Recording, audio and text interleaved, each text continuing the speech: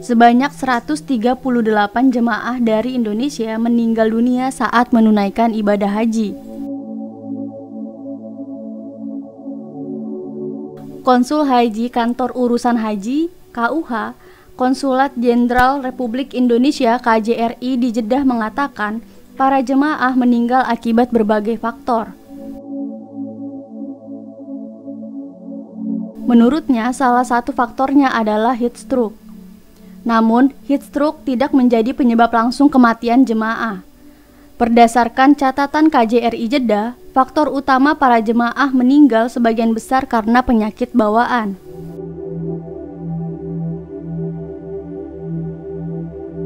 Konsul Haji Kantor Urusan Haji KUH Konsulat Jenderal Republik Indonesia KJRI di Jeddah mengatakan jemaah yang meninggal tahun ini menurun. Diketahui musim haji di Arab Saudi tahun ini dilanda panas ekstrim dengan suhu berkisar antara 45 sampai 48 derajat Celcius.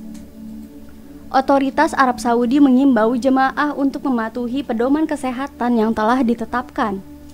Petugas haji sendiri telah mengantisipasi panas ekstrim dengan memasang penyejuk udara yang memancarkan air ke berbagai titik.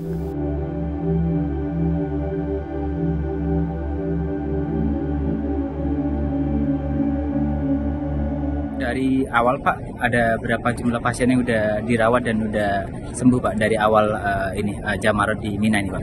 Kalau dirawat dan sembuh saya angkanya pastinya kurang itu ya. Tapi uh, yang jelas kalau yang wafat tadi saya ingat. Iya. Wafat itu sampai dengan hari kemarin jam 4 136 orang.